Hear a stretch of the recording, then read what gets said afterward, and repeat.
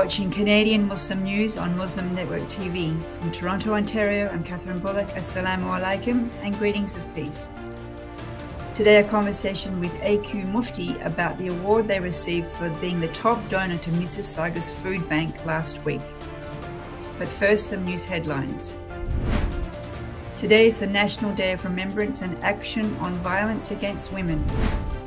Maxime Bernier elected leader of PPC once again Prince George Islamic Center celebrates 10 years. UN approves resolution to call Masjid Al Aqsa by its Muslim name. Former Myanmar leader Aung San Suu Kyi to serve four years in prison. And now the details. Flags have been lowered, and vigils were organized across the country as today marks the National Day of Remembrance and Action on Violence Against Women. Today we are reminded of the Montreal Massacre at l'École Polytechnique over 30 years ago, where Marc Lépine killed 14 women and injured a dozen others. Lépine's act shocked the nation as it was a virulent and violent form of misogyny. Since then, the Canadian government has invested millions towards ending gender based violence and continues to act on gun control measures. Maxime Bernier was re-elected as leader of the People's Party of Canada, or the PPC, with about 96% of the vote. Close to 15,000 people voted to renew Bernier's leadership. The number represents almost three fifths of eligible voters, a CTV analysis shows. In 2019, he advocated for a drastic reduction in immigration and a withdrawal from the Paris Climate Agreement he also opposed COVID 19 restrictions. While he received less than 2% of the popular vote in 2019, the number doubled during the recent September election, yet none of their candidates were elected to the House. Prince George Islamic Center is celebrating its 10th anniversary this week. The center was the first mosque built in northern British Columbia. Before then, the closest mosque was 600 kilometers away. The 7,000 square foot mosque was built in 2011. The $1.8 million project was designed by architect Sharif Senbel. Senbel was inspired by the octagonal topography of the city and the surrounding forest. Leila Mansour, who grew up in the mosque, told CBC News that the center has helped attract Muslims to Prince George. Out of 67 mosques across the province, Prince George is only one is one of only two mosques located in the north. The United Nations General Assembly approved a resolution to call the Masjid al Aqsa compound solely by its Muslim name, Al Haram al Sharif. The Jerusalem resolution is part of a push by the Palestinian Authority and Arab states to reclaim one of Islam's holy sites, which Jews also claim as their own. Canada and the United States were among the few who voted against the motion. The United States said the omission of inclusive terminology for the site sacred to three faiths was of real and serious concern. A Myanmar court has sentenced former leader Aung San Suu Kyi to four years in prison for incitement. The incitement charges originate primarily from a letter Kyi published online following a coup in February this year, where she urged international organizations to be uncooperative with the junta. An unnamed judge also charged Kyi for violating COVID 19 restrictions during her campaign in 2020. Nobel laureate winner Kyi is often criticized for her silence over human rights violations against the Muslim minority Rohingya people. Canada revoked her honorary citizenship in 2018 because of this reason. That's it for the news. And now a conversation with AK Mufti, AQ Mufti, about the award ICNA Canada received for being the top donor for Mrs. Mississauga's Food Bank. Assalamu alaikum and welcome to the show. Walaikum assalam, Kathy. Thank you for inviting me into your, into your program. It's our pleasure. Now, congratulations. ICNA Canada was awarded by the Mayor of Mississauga as one of the top contributors for the Food Bank Drive for 2021. You raised fifty thousand dollars and donated almost four thousand dollars, uh, almost four thousand pounds in food items. Congratulations to you and your organization. Uh, thank you. I think it's all, uh, uh first of all, Allah subhanahu blessing and also the heart of ICNA Canada's uh, uh, the various departments, Masajid, and our wings as well. So we got all together, and I think it was a great, you know, community effort as well to make it a success. Yes.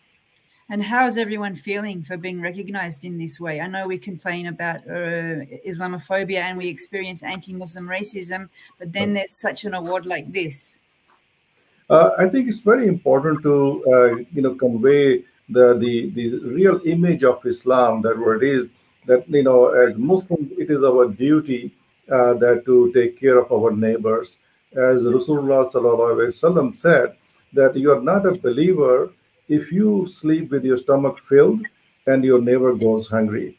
So that is the basic teaching of Islam that we have to be very productive uh, part of the society and we have to be taking care of those who are look uh, you know upon us uh, for in time of need. So I think that's the uh, first thing that we are, you know, conveying this message that this is the true message of Islam. And secondly, also, uh, you know, that we are, you know, uh, you know, showing us that we can collectively we can achieve bigger, even, uh, you know, ambitious targets as well. This has never been done before. Uh, you know, this is the highest contribution to Mayor Crombie's contribution for this food food bank drive. I know she's been doing it for several years, but we were, you know, became the highest uh, donor uh, this year actually. Do you think I converted in 1994, and my sense of the Muslim community was that they that they were much more sort of in themselves, and there might even have been a debate about whether or not it was appropriate to donate uh, to a non-Muslim food bank. Uh, and the, um, giving food to your neighbor, maybe that hadith doesn't apply to to non-Muslims did I just have a wrong sense of the community then, or have things really changed in the last 20 years? I believe uh, because the, uh, as you said, in, in 1994, the community was smaller. Even, uh, you know, we were still, by the way, helping everybody else, you know, uh, but it was maybe not brought into limelight. So that's why maybe, uh, you know, it's not highlighted enough. As you know, uh, generally speaking, in, in the media, when we hear we hear you know mostly negative you know you know news about Muslims or, or, or, Islam, but we hardly hear any good things which are which are happening. You know, ICNA Canada at the at the advent of COVID nineteen. Uh, immediately, uh, you know, we gave over a quarter of a million dollars to three hospitals in Mississauga, including Trillium Hospital in Mississauga, uh, and then one in Brantford and one in, in Brampton as well. So collectively, it was more than a quarter of a million dollars, you know, that we, we contributed right away. Right. So going that back, was a hospital. Uh, that was a hospital donation, and we did cover that in our news, um, Brooke, for that. Today, I just want to ask you about the food bank. You made that donation to the hospital, and now you made this donation to the food bank. What was the internal conversation when you when you were getting the project going. Well, we're going to raise money. Should we do it to a hospital? Should we do it to a food bank? What What was the uh, rationale for focusing on the food bank? Oh yeah, there, are two, two, three things going on uh, right here. Uh, the one that I talked about, the ICNA's contribution to the hospital, that's from the ICNA uh, platform itself. The other one that we're talking about, $5 million from the Muslim community, that's another project. Uh, but when we're talking about the, uh, you know, uh, Mayor Crombie's uh, food drive, uh, ICNA has already been, you know, as, you know, taking part in this food drive for several years. So this year we thought that, you know, not only just one department, ICNA Relief, but we will have all the departments, you know, in the in the area and the region. We'll get together and we'll will achieve a bigger target, inshallah. So that what happened is then we approached Al Falah Islamic Center, which also as part of ICNA Canada. Then we also our Rahman Islamic Center in Meadowvale, uh, Mississauga, and also our sisters wing, you know, uh, ICNA Canada sister wing, and also our, uh, you know, um, Islamic uh, community of Milton, which is also the only mosque, you know, in, in Milton. The, we all got together and also ICNA Relief, of course, and then we made the commitment that we are going to we are already doing this for several years but this year we're going to uh, come forward and you know uh, including all other departments as well and achieve a bigger target and to help our neighbors. So all these groups that got together for the bigger target. How did you raise that money? Were there special um, calls? You called people or you did letters or how did you get people to donate? See uh, the best thing is uh, uh, because we, we involved our masajid uh, we just announced in the uh, Juma khutbas, and after the Juma, you know, Juma prayers, uh, we collected all these donations from various mosques uh, under ICNA. Uh, our sisters being also, uh, they raised their funds from their own database, from their own connections. And similarly, we also ran, ran a campaign in the ICNA Relief platform as well. They approached to their, you know, regular donors as well as you know they approached the, the new uh, prospects as well. So uh, you know it was very a multi-pronged approach that we took from here, and uh, it was uh, alhamdulillah it was uh, with Allah's blessing it was quite successful. And uh, we know that with COVID, a lot of people have been struggling financially. Are you surprised that you were able to raise 50,000? I guess there's some people who were able to make donations and that shows the generosity of the community, but there are also Muslims using the food bank. so were, were, you sort of surprised? Uh, I wouldn't say I was surprised. Uh, initially, I was. You know, when the uh, the COVID started, we all were thinking about how we are going to raise donations for the masajid and there'll be you know challenges because we don't have a physical connection as the people come on uh, prayer on the fridays and so on uh, but alhamdulillah uh, uh, uh the, the, the, community is so generous you know they, they, uh, we have found at my personal experience that you know they, they they look for some good opportunity you know we, it's just a matter of approaching the community. And they are generous by heart. And and uh, as many times as we approach the community we have seen many projects you know locally internationally either in masajid or schools or, or food banks or hospitals. I found that the, the community is amazing amazingly generous in all aspects and, and it really i would say the covid really did not make much uh, difference in, in their generosity that's nice to hear, Alhamdulillah. May Allah reward them many times. Ameen, ameen. Canada is a national organization. Are there also other departments in other provinces raising money for food banks in a similar way?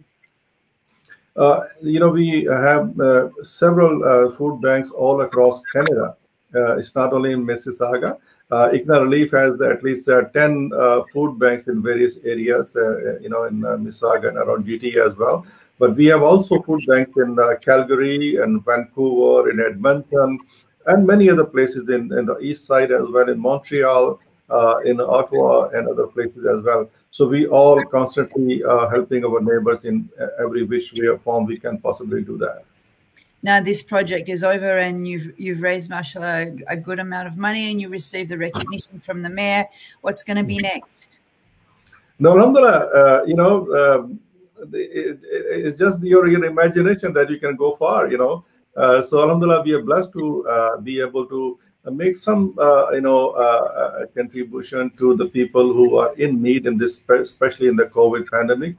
And we definitely, I hope and pray that we soon will be seeing the end of this pandemic. But the need of the people will still be there, unfortunately, as long as the people are there who are in need it is our our uh, duty as a human being and as uh, Muslims, you know, uh, that we have to follow our religious practices and the teaching of Prophet Muhammad wasallam, that we have to uh, be uh, a positive contributor to the society and helping our people who are, who are needing our, our help.